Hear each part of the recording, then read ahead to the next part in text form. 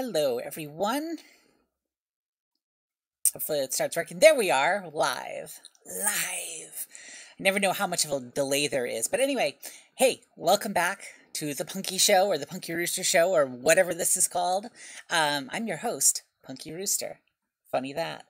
I think my head got fatter because um, my hat doesn't seem to fit as well anymore, but um, it won't, I won't let that get in the way of our fun today. So today on the, uh, this episode, we're going to be talking about four major things before I inevitably tumble into uh, insane ranting. Um, number one is uh, there was some tree damage that I found, my itty bitty little tiny trees from rabbits, some that I didn't bother protecting, and I paid the price. Um, hopefully not the full price, hopefully just a little discount price. Uh, I think they're okay, but we're going to talk about how I'm protecting those trees. We're going to give a bonsai garden update, kind of what I'm calling the bonchis. Basically, my attempt to bonsai every conceivable vegetable, uh, typical vegetable plant. I got some updates on that. Um, as part of that, it'll be sort of my general cloning updates as well. Uh, the indoor decorative gardening. So gardening. So this is a new project that I am working on um, in its very beginning stages. I'm going to kind of just run through and talk about it, but we're going to be doing more in-depth discussion of this much much later um, so in episodes to come but for now I just want to do a quick introduction to the project because uh, it's going to be exciting. It's going to be beautiful. And number four, of course, the typical topic of every gardening video, YouTube streamer, whatever out there is, uh, you know, what am I growing in 2021? Coffee sip. And we're going to go over some of the plants I bought. Now, typically, for the most part, I'm focusing on the Three Sisters, very sincerely, um, with a couple of additions of plants that will be just nice to have for the family. Ooh, I just hit my desk. So let's get to the poor trees. Oh, okay. So I have these trees that are outside the protective fence that because my backyard is fenced in. And a lot of my my fruit trees are not in that fenced in area, but they are themselves encased. They're uh, one, they're much larger, generally speaking, and they have a cage around them um, of welded mesh of welded wire fencing or at the very least, if they're kind of big trees and I'm less concerned about the deer, then I'm only protecting the trunk from bunnies, which I use actually has worked out really well. I've had them for a couple years now like this. I'm protecting the trunks actually by wrapping it in um, uh, sc like screen, like window screen, so that um, I forget what it's made out of, but you know, it's uh, it's it seems very delicate, but it has protected my trunks from obvious damage like this. So this is unfortunately one of the willow trees, the hybrid willow trees. So a hybrid and poplar I have planted in my back, in back of my backyard, sort of on the edge of my uh, my property and my neighbor's property, and they're unprotected. They're not within the backyard fence. I didn't give them any kinds of protection. Basically, as soon as I had them out there, the will the poor willows were eaten down by by uh, deer to basically little stubs like this, which I'm not too concerned about because willow comes back with a vengeance. So actually both these plants, um, they're the two fastest growing trees. So it's, I'm not too, too concerned. They're, they can survive a lot and they're easy to clone as I discovered. So I have clones and this, this is exactly part of the reason why I started those clones. And I'll give you an update on those clones later as part of the bonsai garden update. But, um, the, I wasn't too upset when the deer chomped them down. But as soon as I went out there and I saw bunny damage, I was getting really nervous because I was afraid they were just to eat it to the nub, to the ground. And it would probably still spring back from the roots, which would not necessarily be a bad thing. But I was like, okay, I should I should protect them. I should do something here. So to protect the the smallest of the nubs, I have these are actually uh, five gallon um, hydro bucket, uh, hydro net cups, I guess you'd call them. I don't know if they're really cups; they're more like net bowls. Uh, they're made for hydroponics, like um, deep water culture that you do in a five gallon bucket. They fit perfectly over a five gallon bucket. But I haven't done a five gallon bucket deep water culture hydroponic system in a long time, so I've had these for years. I've been trucking these things around from from house to house since I since my first house, to be quite honest, long before I was on YouTube.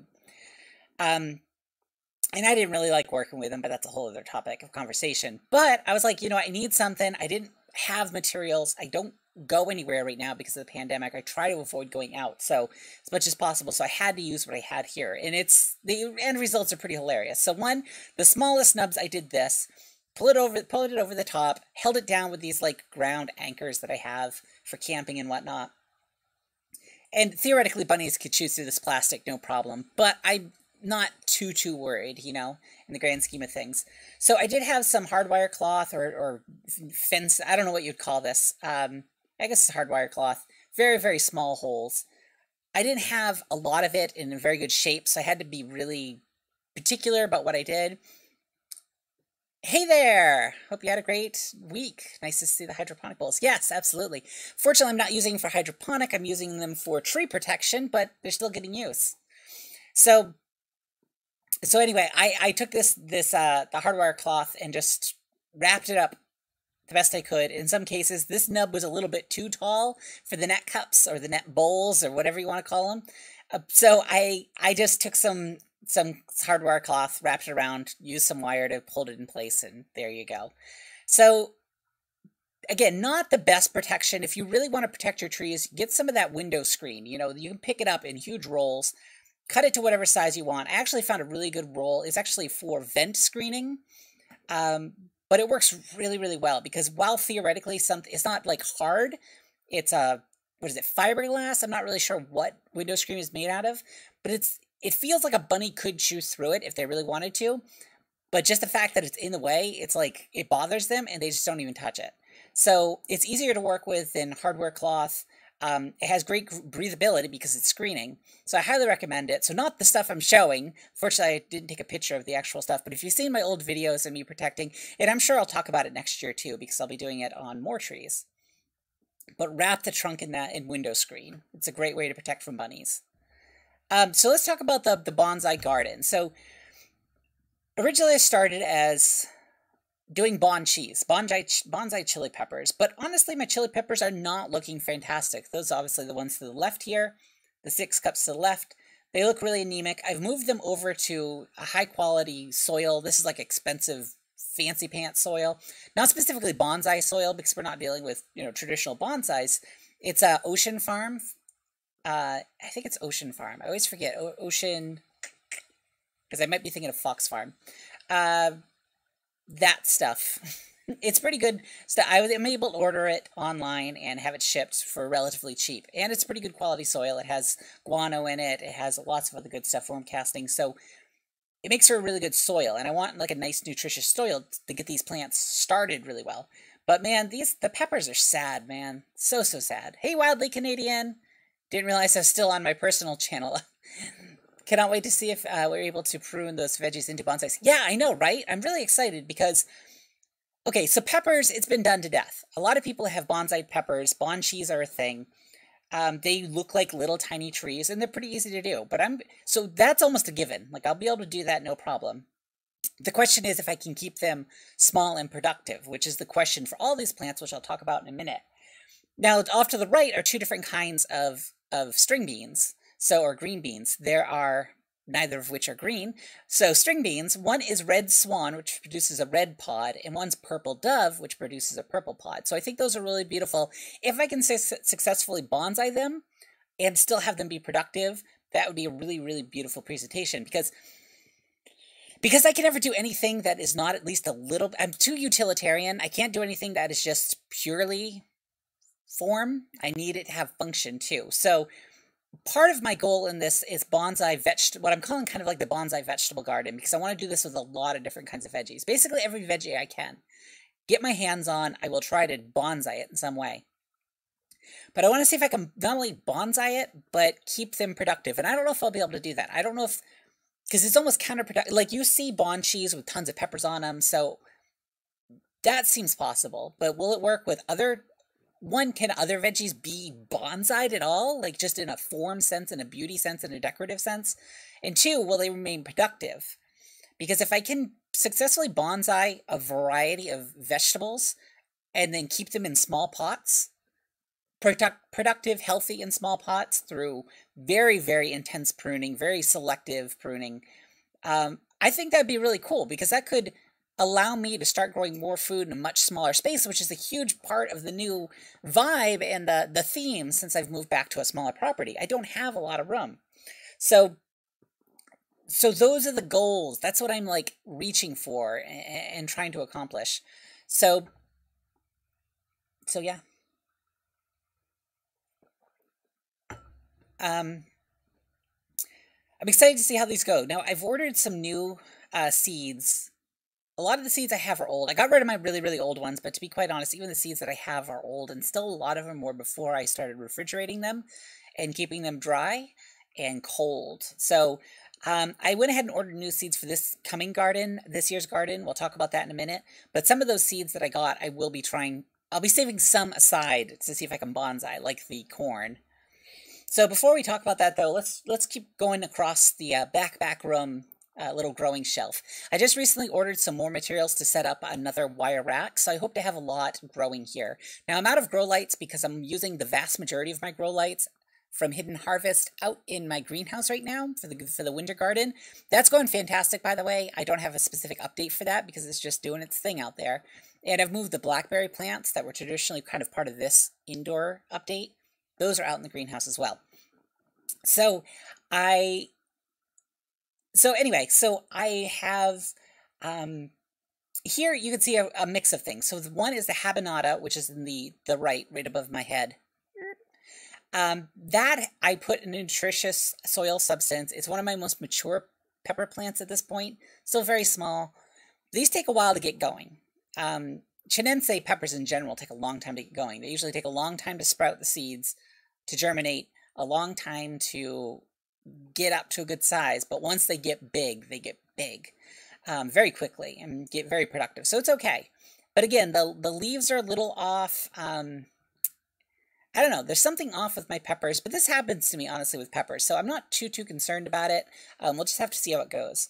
Uh, stage center here is uh, actually a lemon tree that's looking pretty sad. I used to have a lemon tree. I think I've even done videos about it in the past on my channel. They don't work out for me because I can't have them outdoors, even in the greenhouse, because it's still too cold in the winter to have like an outdoor citrus tree. Indoors, the idea sounds great, but I can never seem to have them be happy. So I have I had a really big one at the last house that I ended up giving away because it would it would just have a moment where just all the leaves would drop and die. Um, or it would put flowers out and then all the leaves would drop off and die. And then it would resprout or, or rebranch out new leaves, look beautiful, maybe then again flower again, but the flowers would all fall off. Then the leaves would all fall off. It was this constant cycle that I could never seem to like master. So I'm like, I never want a lemon tree again as long as I live. This one I got free from Stark. No, um, I think I got this one free from fastgrowingtrees.com. They had like a promotion.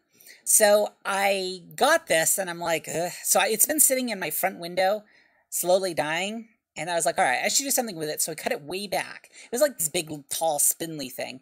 I cut it way back and stuck it in a little, uh, little pot. um, was that? I think that's like four and a half inch pot, something like that.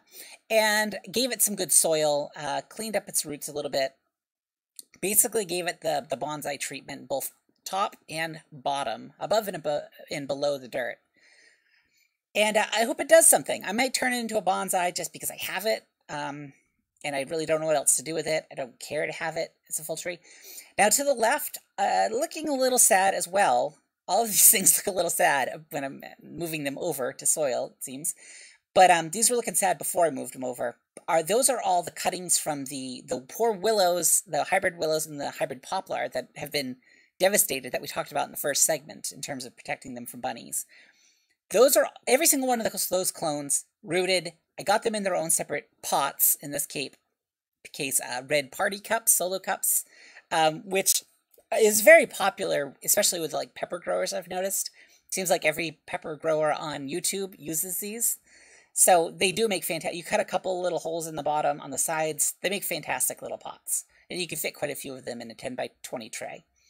Um, so I've got these moved over into the solo cups with some nice soil, not the crappy soil that they kind of well they didn't start out in soil so let me correct that i i sprouted them in, in coconut coir and that's part of part of why the the lower leaves look so bad is because there was no nutrition. I tried to give a little bit, like titrate a little bit of, of nutrients into the coconut coir, but it just didn't really work out. So, um, so that's part of the reason why the lower leaves look so bad. And I knew I had to get them into actual nutritious soil, like actual something, something with some substance.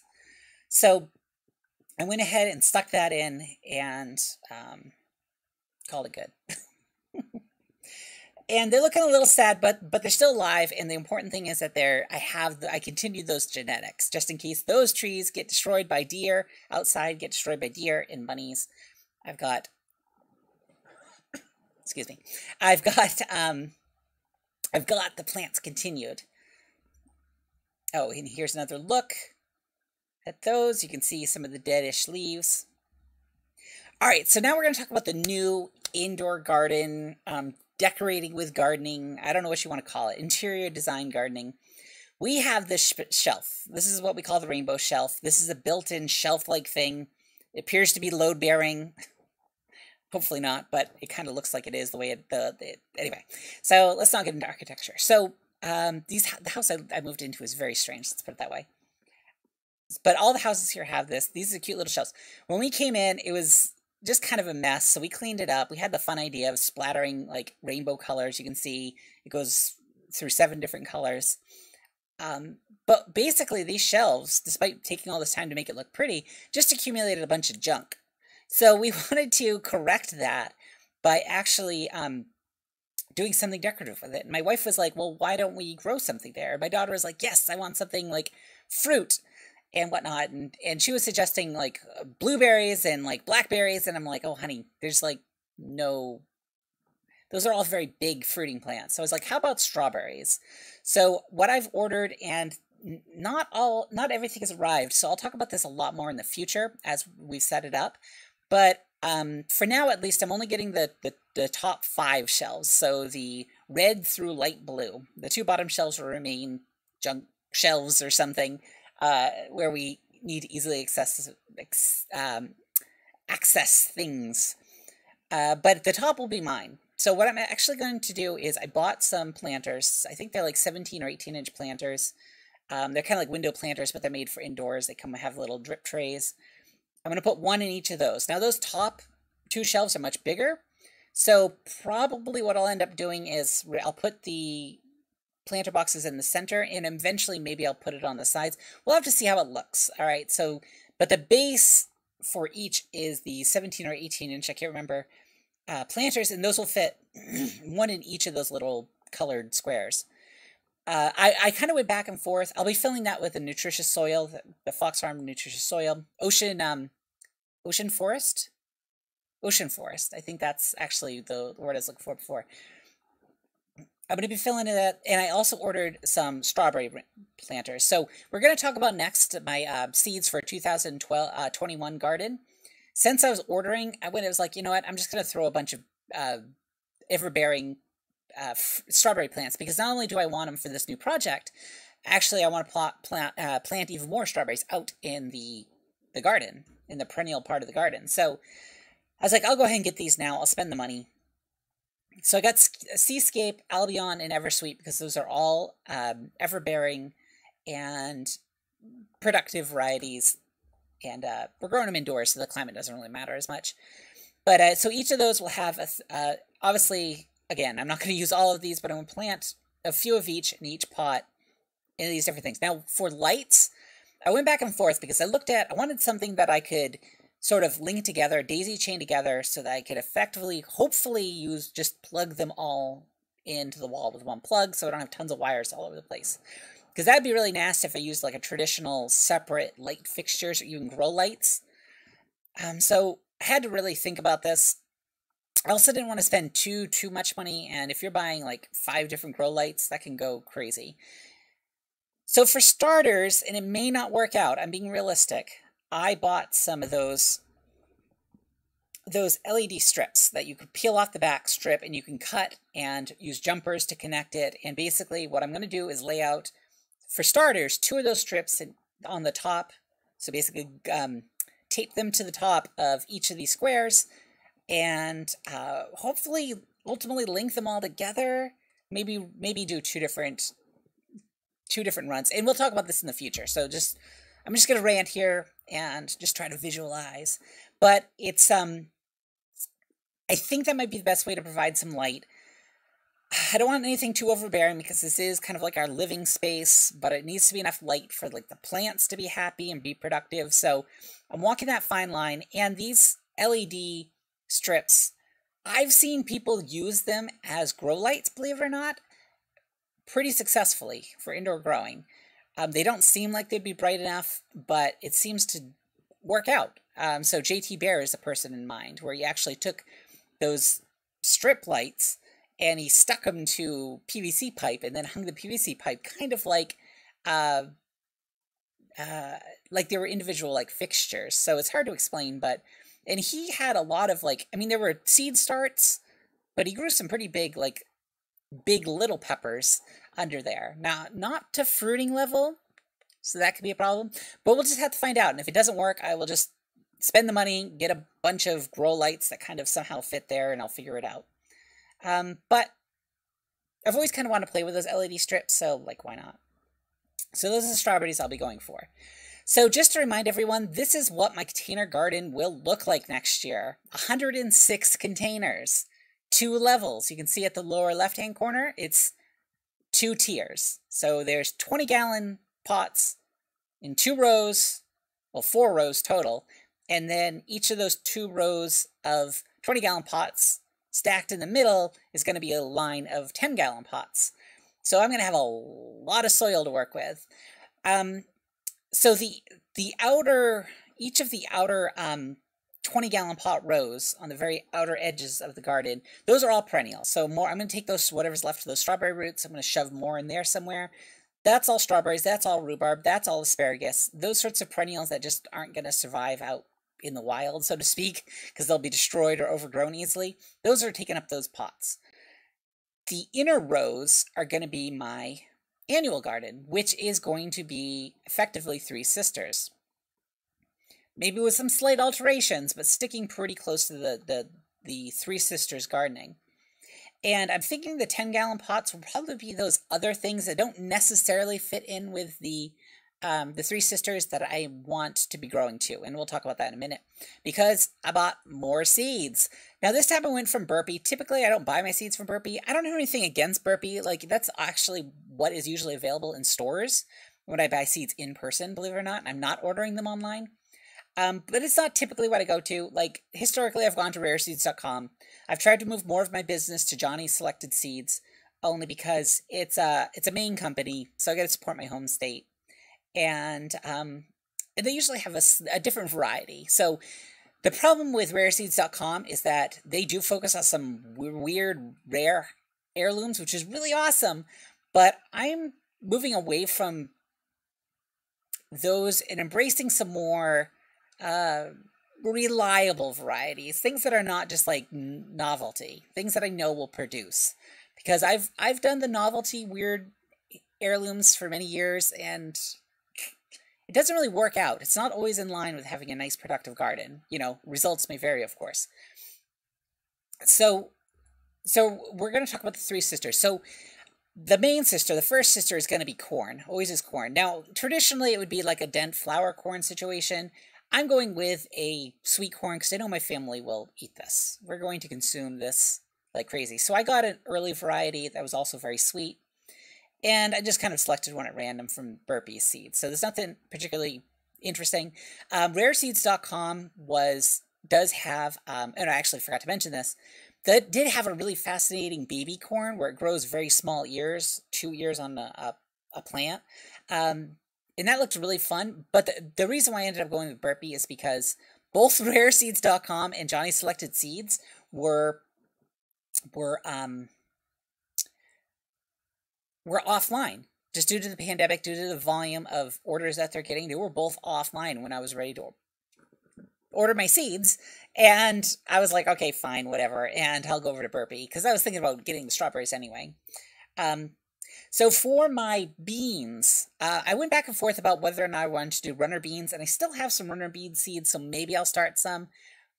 But I was like, okay, well, are we going to eat runner beans? We might. We might eat them as fresh beans. We might eat them as dried beans. I mean, I like the idea of having dried beans. I grow dried beans like every single year, but usually I grow just enough to have enough seeds for next year. But it's like, all right, let me this year grow something that I know we're going to eat because my family does like to eat string beans. Um, and if I grow too many, instead of saving these off, I'll just let the pods mature and then I'll have shell beans because you can eat, of course, the seeds of of uh, good old your typical green beans.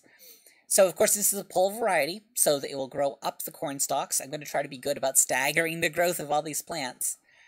Um, so we're going to try it. We're going to try this as our our second sister.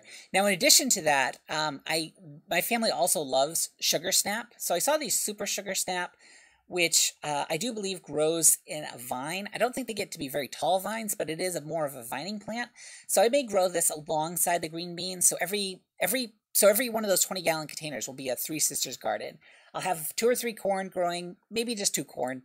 I'll have, you know, a, a bean plant and a sugar snap pea plant growing up the corn. And then coming out the bottom, the third sister, well, I'm thinking about doing these these pumpkins, and I've been thinking about. So the problem is, I don't eat a ton. Historically, I don't eat a ton of winter squashes. Like I love like a um, yellow squash, like that summer squash. Love it to pieces, but um, it doesn't really. I didn't know if it would really work, and it's not traditionally what is used. And I do want something that will last. So it's like I need to venture into the the winter squash world. So I thought about having pumpkins. Um, so we could grow these, maybe make some pie out of them. I'm thinking about roasting them and eating them as they are, and hopefully it'll be a nice, nice roasted pumpkin too. I honestly don't know. Um, and it'll be a nice thing to eat in that way that you would eat, normally eat a winter squash, because at the end of the day, pumpkin is just a winter squash. And also the seeds. Love having pumpkin seeds. So I'm going to give this a try as a, hopefully it'll be productive. They're relatively small because I don't want anything huge. I want like single serving little little little uh, pumpkins to consume. Um, but with all things considered, I'm hoping this this works out as a sort of my third sister winter squash. Now we're getting into the weird stuff. So my family also uh, asked for a few other things. Now I won't necessarily be growing these in the three sisters. These might end up in the the ten one in each of the ten gallon pots. So I have cantaloupe because um, my wife and my daughter love cantaloupe. I'm eh, about it. So I kind of just chose one that I thought looked good. Oh, and, and just to say, this, the reason why I got the sweet sugar pie is because I wanted a sweet pumpkin. I don't know if I made that abundantly clear. Um, I also have bought these seeds actually in the fall. So Johnny selected seeds when I ordered some seeds for my winter garden.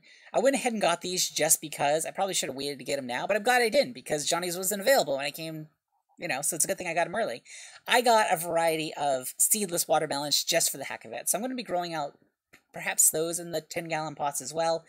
Maybe I'll switch these out for some pumpkins and let them be kind of like a third sister.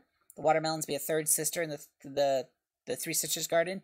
I'm not actually sure because I don't know if I necessarily need um what would be 36 pots. Do I need 36 uh, pumpkin plants producing that many pumpkins? I'll never get around to it. But if I do half, you know, pumpkins, the other half uh, watermelon, you know, maybe that's the best bet um, and of course broccoli. Uh, very big fan of kale in, in our household, um, but we've kind of moved on to broccoli. And historically, I've not had a great experience growing, honestly, any brassica. I always have terrible experience with brassica. But I was like, you know what? Um, you know, we're eating a lot of broccoli now, so let me go ahead and get some broccoli and let's see if let's see if I can do something with it. Uh, and of course, I got some more half long carrots. These, um, I actually bought these from Johnny Selected Seed, and it's what I have growing out in the um, winter garden, and they were doing really, really well. So I'm my my um, how shall I say this? My confidence in growing carrots is increasing. Historically, I've not had great luck with it, but it's increasing. So I'm going to go ahead and get one package of these and see how it goes. And of course, finally, this is not going to Three Sisters Garden, but um, my daughter and my part time other child, my ward that we're taking care of, um, during the, the, the pandemic, they both want kind of their own garden. And they want to grow really big pumpkins. So Burpee actually has a larger pumpkin than this, but they were out of stock. So I got the Big Max, which can get up to 100 pounds. Probably is not going to because I'm not going to do anything crazy to keep these things going. Keep them alive, keep them healthy, get them fertilized. But I'm not going to baby them. Like, uh, hopefully I can keep them safe from from critters. I'm probably going to grow build a fence around their garden because we're actually doing their pumpkin patch separate from my container garden. We're actually going to put these in the ground. So I've basically that gigantic pile of wood chips that everyone said I would never be able to use them all. I've used them all. There's like one tiny little pile off to the side that I'm going to be using as a mulch for my containers. So I saved, intentionally saved some. But the rest is nothing but, uh, you know, a few inches kind of like in a big area.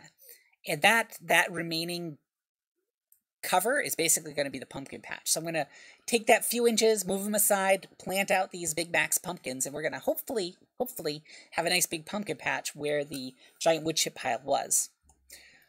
All right, that is all I had. Thank you so much for watching. Um, I really appreciate it if you like this video, and a share would be very much appreciated too. That's the best way uh, that I can get the word out about my show, and especially now that I'm doing the weekly live show and putting you know a lot more thought and effort into it these days. I would love to be able to, to get more people watching it. The last couple ones I've done have gotten a lot of lot of interaction. Some of my best for live shows because a lot of people don't like live streaming here on YouTube. So it's as a live stream and also a video after the fact. Whenever YouTube decides that it is done being a live video and they kind of turn it into a uh, video on demand, a VOD. Um, that is uh, it's been awesome, and and I don't know what it's been. It's ultimately up to you, awesome people. So if you can do anything to help, you know, again, comments. If you just want to, you, even just a comment, you know, if you want to tell me about what you're growing in your garden after the fact would be amazing. Hey, great, great Sky Control. Hello, how's, how's it going? Um, I don't know what I was about to say there. But I also want to take a moment to say a huge thank you to my patrons on Patreon. Uh, Mark, Mallory, Paula, Catherine, um, been supporters for a really long time. These days, I only use the Patreon. I don't do special posts on the Patreon. I basically leave there as an an option for people to treat it like a tip jar. Like I used to have a bunch of different crazy levels with like different prizes eh, or whatever. And I did I got rid of that because it was a weird stress to try to like maintain a hundred different things. Um like it's nice to have a route for people to be able to contribute, but it seemed like duplicate it just it just wasn't a positive thing generally speaking. Uh, and of course not everyone's on Patreon. So I um I kind of got rid of the higher levels, got rid of all the special things, and if you want to go on there and and and give me you know um uh be a patron for one to three dollars a month, your choice. Those are all the levels I have one, two, and three. And some people have been doing it for a lot. some people were supporting me at much higher levels when I had them, and you people are crazy supportive, and I really appreciate it. But I felt like I couldn't provide the right content at those levels or the right level of to make it worth it or to make it feel like I, you've earned your money. And I know ultimately it's about support, but blah blah blah blah blah. So those who are giving me a tip every month, I really appreciate it. I appreciate the support um, immensely. And I know it's you've you've been supporting me for a while now, so I wanted to give it thanks, and I hope to I hope to do more at the end of these videos to give thanks to people who contributed on Patreon. Uh, at the in, at the in the description of this video, you'll see a list of all the different ways you can help me. Of course, watching this, sharing it, liking this video is one of the best ways. Uh, because the more viewers that come, the more YouTube goes, hey, this is a valuable video. We should have more people see it. So that's the best way you can help. Absolutely. Um, but I also have a, an Amazon link that you can click on before you buy anything on Amazon, and, and I'll see a, a cut of that at no extra money to you. So that's awesome. I also have a link to my novel. Um, and also just, if you just want to PayPal me some financial support, I would definitely appreciate it. Um, people have done that in the past, and I've thank you so much. And I usually end up, so for example, eh, you know, uh, CMT single single handedly made sure that I had bees this year. So they um, were incredible, and that was that was a PayPal donation if memory serves. So that's there if you want to help me out in that way. Um, I'm going to try to stream to to Twitch as well. Trying to do both at the same time is a little bit difficult, but I may. I'm thinking about after I get done here, I may try to move over to Twitch and basically do the same thing as like a second second act or something like that. Maybe we'll see. But in any case, blah blah blah blah blah. Thank you all so much for who've uh, joined me for the live show. Hi.